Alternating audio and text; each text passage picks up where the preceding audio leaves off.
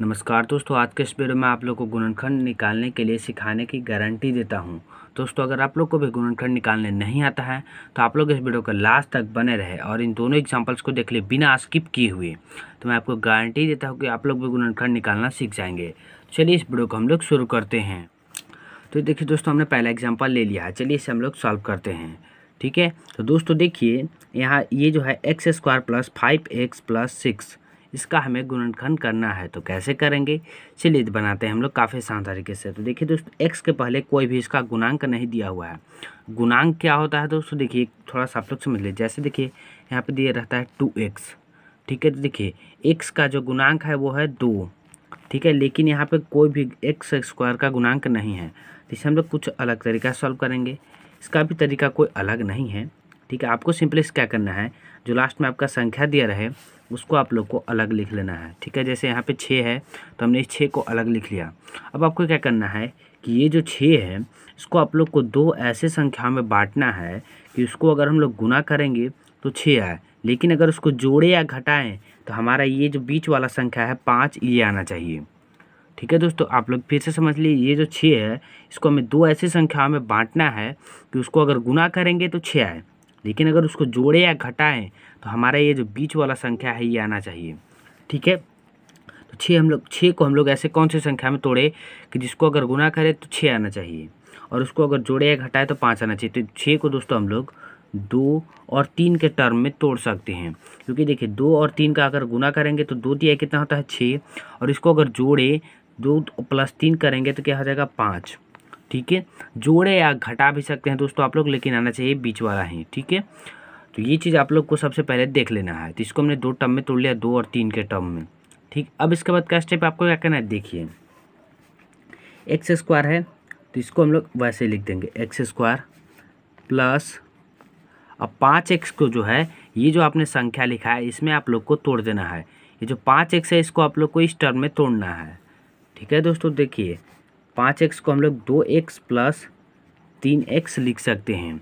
क्योंकि देखिए दो संख्या जो है, संख्या के साथ जुड़ जाता है और ये जो है, इसके साथ जुड़ जाता है। तो दो एक्स और तीन एक्स क्या हो जाएगा? पाँच एक्स ठीक है दोस्तों, अब देखिए जो छः है, इसको वैसे ही लिख देंगे हम लोग। अब आपको क्या करना है, इसको एक अलग बना लेना है और इसका एक अलग जोड़ा बनाना है। आपको दो दो का जोड़ा बना लेना है। ठीक है, अब देखिए दोस्तों, इन दोनों में से आपको कॉमन को ढूंढना है। दोस्तों, सबसे ज़्यादा प्रॉब्लम्स लोगों को कॉमन ढूँढने में ही आती है और यहीं पे लोग अधिकतर से अधिकतर गलती करते हैं। तो कॉमन आप लोग कैसे ढूंढ सकते हैं? देखिए, सबसे आसान तरीका है। आपको देखिए, यहाँ पे क्या दिया हुआ एक्स स्क्वायर ठीक है तो देखिए एक्स स्क्वायर को आप लोग को अलग लिख लेना है।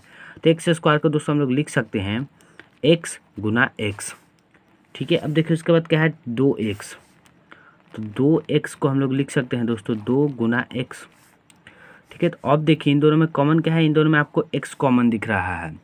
ठीक है दोस्तों, सिर्फ़ एक्स ही इन दोनों में कॉमन है। हम लोग क्या करेंगे कि इन दोनों में हम लोग एक्स को कॉमन निकाल लिए, ठीक है? तो इस तरीके से दोस्तों, आप लोग कॉमन काफ़ी आसान तरीके से निकाल सकते हैं। तो इन दोनों में हमारा कॉमन क्या हो गया? एक्स ठीक है दोस्तों, देखिए अब ये जो एक्स स्क्वायर है, इसमें से हमने एक्स को कॉमन निकाला देखिए, ये जो एक्स स्क्वायर है, इसमें से यहाँ से एक्स को हमने यहाँ पे कॉमन ले लिया।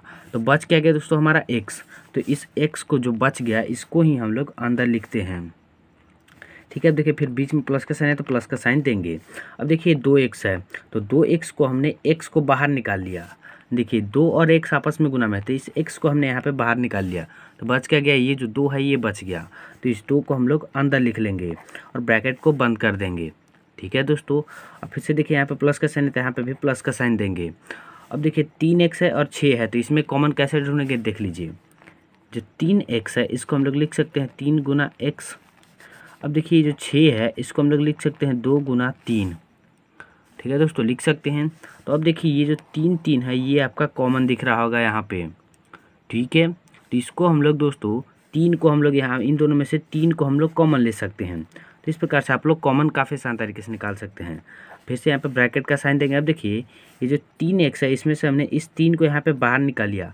देखिए, तीन एक्स में से इस तीन को बाहर निकाल लिया तो बच के गया एक्स तो इस एक्स को हम लोग अंदर लिख देंगे। ठीक है? अब फिर देखिए प्लस का साइन है तो प्लस देंगे। अब इस छः में से इस तीन को हमने यहाँ पे बाहर निकाल लिया तो बच क्या गया दो। तो इस दो को हम लोग अंदर लिख देंगे। तो किसी इस प्रकार से आप लोग कॉमन काफ़ी आसान तरीके से निकाल सकते हैं। अब देखिए दोस्तों, इसमें से हमने कॉमन लिया था एक्स और इसमें से हमने कॉमन लिया था तीन। तो इसको हम लोग एक अलग ब्रैकेट में कर लेंगे। ठीक है, अब देखिए यहाँ पे x प्लस दो एक्स प्लस दो, इसका एक कॉमन ले लेंगे। तो x प्लस दो, और ये जो है दोस्तों, आपका आंसर आ चुका है। और इस प्रकार से दोस्तों आप लोग काफ़ी आसान तरीके से गुणनखंड निकाल सकते हैं। देखो दोस्तों, ये हमारा दूसरा क्वेश्चन आ चुका है। चलिए इसे भी हम लोग काफ़ी आसान तरीके से हल करेंगे। तो देखिए दोस्तों, यहाँ पे पिछला क्वेश्चन जो मैंने आपको दिखाया था, उसमें आप लोग देख सकते हैं कि यहाँ पे जो है एक्स के पहले कोई इसका गुणांक नहीं था। लेकिन आप लोग इस वाले क्वेश्चन में अगर देखिएगा तो इस ए स्क्वायर है यहाँ पे तो ए स्क्वायर का यहाँ पे गुणांक दिया हुआ है। और वो क्या है? वो तीन है। ठीक है? तो इसमें गुणांक दिया हुआ है तो इस इस कंडीशन में आपको क्या करना है? ये जो इसका गुणांक है, ये जो तीन है, और यहाँ पे जो लास्ट में जो संख्या है, उसका आप लोग को गुना करना है। तो यहाँ पे तीन है और यहाँ पे छः है। तो इसका हम लोग गुना कर लेंगे। तो इसको गुना करेंगे दोस्तों तो हमारा क्या हो जाएगा? छः का गुना तीन में करें। छः का गुना तीन में करेंगे तो क्या हो जाएगा? अठारह। ठीक है दोस्तों छः का गुना तीन में करते हैं तो क्या हो जाता है? अठारह। अब दोस्तों आपको यहाँ पे क्या करना है? अब इस अट्ठारह को आपको दो ऐसे संख्याओं में बांटना है कि उसको अगर गुना करें तो अट्ठारह है, लेकिन अगर उसको जोड़े या घटाए तो आपका ये जो बीच वाला संख्या है, ग्यारह, वो आना चाहिए। तो दोस्तों अगर हम लोग अट्ठारह को नौ और दो की संख्या में बांटे देखिए नौ का गुना दो में करेंगे तो क्या हो जाएगा अट्ठारह और नौ और दो को अगर जोड़े तो नौ प्लस दो कितना हो जाएगा दोस्तों हमारा ग्यारह। तो दोस्तों नौ और दो को आप लोग यहाँ पे थोड़ा सा दिमाग लगाना होगा और आप लोग इसको तोड़ सकते हैं काफ़ी आसान तरीके से ठीक है? तो नौ और दो के टर्म में हम लोग इसको तोड़ेंगे ठीक है दोस्तों? तो अब देखिए थ्री ए स्क्वायर को वैसे ही लिख देंगे प्लस ग्यारह ए बी को हम लोग इस दोनों के टर्म में जोड़ आ, मतलब तोड़ देंगे। तो नौ ए बी प्लस दो ए बी। ठीक है दोस्तों, अब यहाँ पे प्लस का साइन देंगे। छः बी स्क्वायर है तो इसको वैसे ही लिख देंगे। ठीक है दोस्तों, अब इसको देखिए, दो दो टर्म में हम लोग बांट लेंगे। अब फिर से यहाँ पे हम लोग कॉमन निकालेंगे तो थ्री ए स्क्वायर मतलब तीन ए स्क्वायर और नौ ए बी में हमें कॉमन निकालना है तो कैसे निकालेंगे देख लीजिए। तीन ए स्क्वायर है तो इसको हम लोग लिख सकते हैं तीन गुना ए गुना ए क्योंकि ए का गुना ए में होगा तो वो ए स्क्वायर बन जाएगा और तीन वैसे रहेगा, ठीक है? कुछ इस प्रकार से आपको कर लेना है। आप देखिए, नौ ए बी है तो नौ ए बी तो नौ को हम लोग लिख सकते हैं तीन गुना तीन, और ए बी आपस में गुना में है, ठीक है? इस प्रकार से आपको लिख लेना है। अब देखिए, यहाँ पे कॉमन क्या क्या है? ये देखिए, तीन कॉमन है, और यहाँ पे देख सकते हैं ए कॉमन है। तो तीन और ए जो है आपका यहाँ पे कॉमन निकल चुका है। तीन और ए आपका कॉमन निकल चुका है तो इसका कॉमन निकालेंगे। अब देखिए, तीन ए स्क्वायर में से आपका तीन और ए निकल गया तो बच क्या गया दोस्तों? सिर्फ़ आपका ए बच गया। तो उस ए को आप लोग को यहाँ पे ब्रैकेट में लिखना है और फिर प्लस का साइन देना है। अब देखिए, जो नौ ए बी है, नौ ए बी में से हमारा तीन ए जो है बाहर निकल गया तो बच क्या गया? ये तीन और ए बाहर निकल गया तो बच क्या गया? तीन और बी बच गया। तो इस तीन बी को हम लोग यहाँ पर ब्रैकेट में डाल देंगे। ठीक है दोस्तों? अब फिर से यहाँ पे देखिए प्लस का साइन है तो प्लस का साइन दे देंगे। अब देखिए, दो ए बी और प्लस छः बी स्क्वायर में हमें कॉमन निकालना है। तो यहाँ पे लिखेंगे दो ए बी। तो देखिए, इसके बीच में कोई साइन नहीं मतलब ये सब गुना में है। तो दो गुना ए गुना बी, इसको आप लोग कैसे लिख लेना है? अब देखिए छः बी स्क्वायर है। छः बी स्क्वायर। तो छः बी छः को हम लोग दोस्तों दो गुना तीन लिख सकते हैं और बी स्क्वायर को हम लोग बी गुना बी लिखेंगे।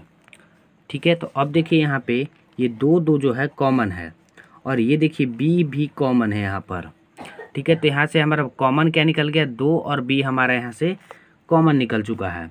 तो दो और बी को हम लोग यहाँ पे लिख लेंगे निकाल लेंगे मतलब ठीक है कॉमन अब देखिए दो बी जब, दो ए बी से, दो ए बी से हमारा दो बी जब बाहर निकल गया तो बच क्या गया दोस्तों ए तो इस ए को हम लोग यहाँ पे ब्रैकेट में डालेंगे और फिर प्लस का साइन है तो प्लस देंगे। अब देखिए छः बी स्क्वायर छः बी स्क्वायर में से ये जो दो बी है बाहर निकल गया तो बच क्या गया? ये दो बी आपका बाहर निकल गया तो बच क्या गया? ए ये तीन बच गया और ये बी बच गया। तो हम लोग यहाँ पे क्या लिखेंगे? तीन और बी और आपको ब्रैकेट दे देना है। ठीक है? अब देखिए, जो यहाँ से हमने कॉमन निकाला था और यहाँ से जो कॉमन निकाला था, उसको आप लोग को एक ब्रैकेट में लिखना है, जैसे तीन ए प्लस ये जो दो बी है, उसको हम लोग अलग लिख लेंगे। ठीक है?